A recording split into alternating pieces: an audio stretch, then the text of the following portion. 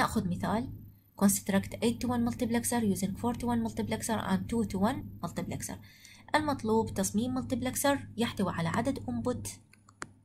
8 باستخدام 2 ملتبلكسر أحدهما يحتوي على عدد input. 4 والآخر يحتوي على عدد input 2 نلاحظ منو الملتبلكسر اللي عدد الانبوت إلى أكبر. الأربعة. عدد ال input لل multiplexer 4 to 1 هو أكبر من عدد ال input لل multiplexer 2 to 1 إذا عندنا اثنين multiplexer متوفرة للتصميم أحدهما 4 to 1 multiplexer والآخر 2 to 1 multiplexer عدد ال input الأكبر لل multiplexer 4 to 1 إذا بداية نقسم عدد ال input لل multiplexer المطلوب تصميمه على عدد الأنبوت للملتبلكسر المتوفر. نبدأ بالقسمة على أولهما. أكثر عدد انبوت ثمانية تقسيم أربعة. ثمانية تقسيم أربعة الناتج اثنين. نلاحظ الاثنين أكبر من أربعة أو أصغر. الاثنين أصغر من أربعة.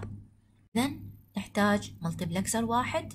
2 to 1 نلاحظ التصميم عندنا. 2 multiplexer عدد ال input إلهم أربعة.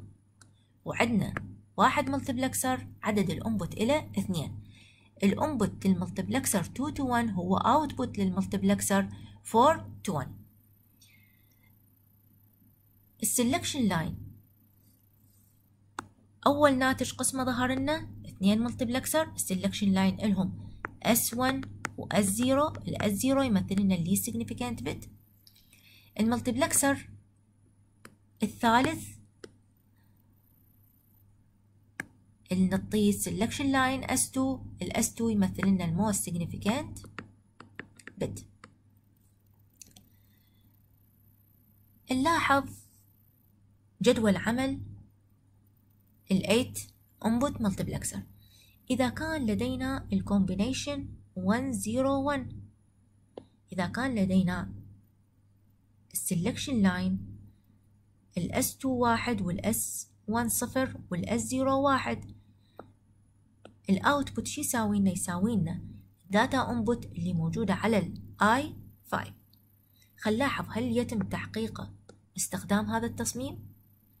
ناخذ ال S 2 واحد ال S 1 صفر ال S 0 واحد. هذا ال line S 0 راح يكون عليه واحد هذا ال line S 1 راح يكون عليه 0 هذا ال line يمثل لنا ال S 0 عليه واحد ال S 1 عليه zero. تلاحظون ال multiplexer 4 to 1 ال selection line إله صفر واحد. إذا ال selection line صفر واحد ال output شو يساوي لنا؟ يساوي لنا ال I 1 ال multiplexer 4 to 1 الثاني. ال selection line إله صفر واحد. إذا ال output شو يساوي لنا؟ يساوي لنا I 5 ال multiplexer 2 to 1 selection line إلى واحد. إذا ال output شو يساوي لنا؟ يساوي لنا I 5 نلاحظ ملخص ما تم ذكره في المحاضرة؟ تعرفنا على ال multiplexer ولاحظنا أنه ال multiplexer هو combinational logic circuit. يحتوي على عدد input و output واحد اعتمادا على ال binary code اللي موجود على ال selection line يتم اختيار أحد المدخلات. وإظهار البيانات الموجودة عليها على ال output تعرفنا على كيفية تصميم 2 input وال 4 input multiplexer باستخدام البوابات المنطقية. بعد ذلك لاحظنا كيفية تصميم ال higher order multiplexer باستخدام ال lower order multiplexer لاحظنا كيف يكون التصميم عندما يكون الناتج النهائي لحاصل قسمة عدد ال input لل multiplexer المطلوب تصميمه على عدد ال input لل multiplexer المتوفر يساوي واحد. ولاحظنا كيف يكون التصميم عندما لا يكون الناتج النهائي مساويا إلى الواحد اعتمادا على المطلوب من السؤال. أما يتم تصميمه باستخدام two type of lower order multiplexer أو يتم تصميمه باستخدام enable input حيث يتم تفعيل أحد ال multiplexer وإلغاء تفعيل ال multiplexer الآخر اعتمادا على قيمة ال selection line الذي يتم ربطه إلى ال enable لاحظوا ال selection line S2 إذا كانت قيمته واحد ال multiplexer الأول يتم إلغاء تفعيله. لأن تلاحظون أنه ال enable input يحتوي على bubble يتفعل ب logic zero. فبالتالي إذا كانت ال S قيمتها واحد ال multiplexer الأول يتم إلغاء تفعيله. ال multiplexer الثاني الواحد تدخل على بوابة not راح تكون صفر. ال multiplexer الثاني يتم تفعيله. نلاحظ قيمة ال S 1 وال S 0 اعتمادا على ال binary code اللي موجود على ال S 1 وال S 0 نلاحظ قيم ال output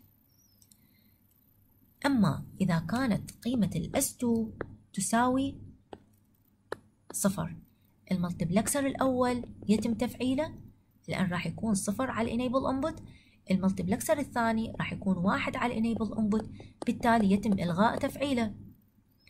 ال multiplexer اللي تم تفعيله نلاحظ قيمة ال S 1 وال S 0 اعتمادا على قيمة ال S 1 وال S 0 راح نلاحظ ال output لل multiplexer.